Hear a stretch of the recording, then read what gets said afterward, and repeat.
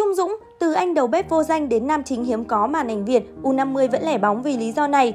Là một trong những gương mặt hiếm có nhất trong nền điện ảnh Việt Nam, diễn viên Trung Dũng từ lâu đã là cái tên rất được yêu thích bởi khán giả nước nhà. Trung Dũng sinh năm 1973, được nhiều người nhớ đến nhờ khuôn mặt nam tính, gai góc và nét diễn cá tính trong nhiều phim truyền hình và cả điện ảnh. Anh nổi tiếng qua những bộ phim như Lạc Giới, Người đàn bà yếu đuối, Ngọn nến Hoàng cung. Năm 2015, Trung Dũng đã hóa thân một cách xuất sắc vào vai diễn phản diện trong phim Nữ cảnh sát tập sự, đó là vai diễn Hồ Thắng, một tên cầm đầu băng đảng xã hội đen với nhiều chiêu trò xảo quyệt.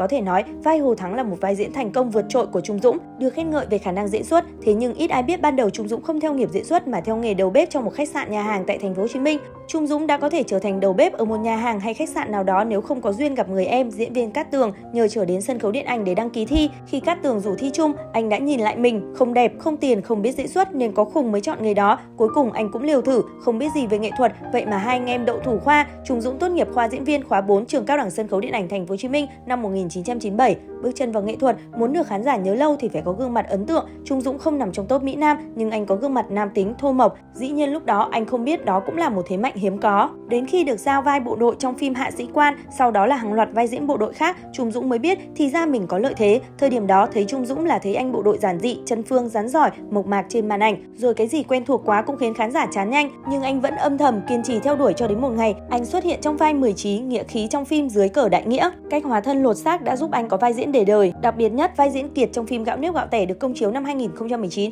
cũng đã góp phần mang anh đến gần với công chúng hơn. Bộ phim này cũng là cột mốc đánh dấu sự phát triển vượt bậc trong sự nghiệp của Trung Dũng. Với sự nỗ lực và tinh thần kiên trì hiếm có, nam diễn viên đã chạm đến đỉnh cao của sự nghiệp thông qua việc anh nhận được hàng loạt giải thưởng danh giá như giải thưởng Cánh diều vàng và Ngôi sao xanh năm 2015, giải Mai vàng năm 2019 cùng hàng loạt các bộ phim truyền hình tên tuổi. Bên cạnh sự nghiệp đầy thăng trầm, chuyện đời tư của Trung Dũng cũng được dư luận rất quan tâm do đã bước qua ngưỡng 50 tuổi mà vẫn độc thân và khá kín tiếng trong việc chia sẻ câu chuyện đời tư của bản thân. Nam diễn viên thường xuyên dính vào nhiều tin đồn tình ái. Năm 2014, khi tham gia bộ phim Lạc Giới do chính mình viết kịch bản cũng như thủ vai nam chính, trong phim Trung Dũng và vai một tên tướng cướp vượt ngục bị truy nã phải tìm đến vùng núi hoang sơ để trốn. Tại đây anh nảy sinh tình yêu với chàng trai chăn dê. Sau khi bộ phim được công chiếu, Trung Dũng vướng tin đồn đồng tính do có những phát ngôn gây sốc. Mọi người có nói tôi đồng tính cũng là chuyện hết sức bình thường, tôi sẽ rất vui nữa. Khi những lời nhận xét của dân mạng đi quá giới hạn, Trung Dũng lên tiếng khẳng định chắc nịch một câu, tôi chuẩn men, phim và ngoài đời hoàn toàn khác nhau. Tại đây, anh cũng chia sẻ đã từng có vợ và con, tuy nhiên đã ly hôn từ năm 2016. Được biết vợ và con trai của anh hiện đang sinh sống và định cư ở Mỹ.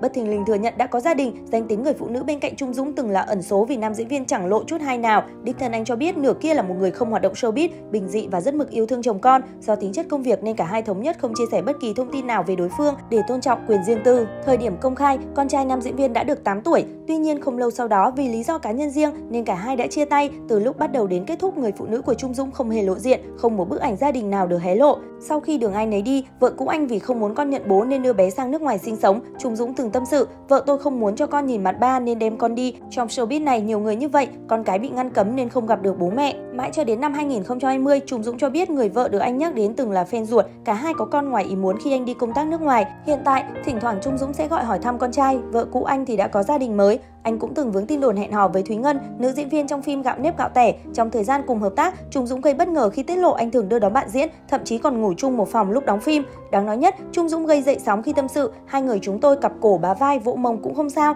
nó rất bình thường. Trước đây tôi còn làm nhiều chuyện ghê hơn nhưng mọi người chẳng bao giờ nói gì. Ngay sau đó Thúy Ngân đã phải lên tiếng đính chính rằng cả hai ngủ chung một phòng với nhiều người trong đoàn phim chứ không phải ở riêng tư cùng nhau. Còn việc kề vai bá cổ là do cô xem đàn anh như người thân trong gia đình chứ không có ý nghĩ xa hơn. Nói về đường tình duyên chắc trở, Trung Dũng cũng chỉ cười trừ từng chia sẻ, ông trời cho anh nhiều cũng lấy đi của anh nhiều thứ. Thời gian gần đây, Trung Dũng một lần nữa gây nhiều chú ý khi tham gia Lật Mặt 6 với vai diễn Khanh, một nhân vật có tâm lý phức tạp và khó đoán. Vì chọn lối sống vật chất, Khanh sẵn sàng bỏ qua tình bạn để đạt được mục đích riêng. Nhân vật cũng có một chút máu giang hồ, không sợ bất cứ điều gì. Đặc biệt, Trung Dũng để lại ấn tượng mạnh với cảnh quay tâm lý nặng đô khi nhân vật Khanh hóa điên. Nam diễn viên thực sự khiến khán giả phải sợ hãi với ánh mắt trợn trừng, gương mặt như muốn ăn tươi nuốt sống người khác. Điều đó khiến khó ai đoán được nhân vật đang thực sự suy nghĩ điều gì. Lượng người hâm mộ của nam diễn viên cũng tăng lên đông đảo sau khi phim phát sóng. Nhiều khán giả cũng kỳ vọng anh sẽ tiếp tục tỏa sáng trong những tác phẩm mới nhất.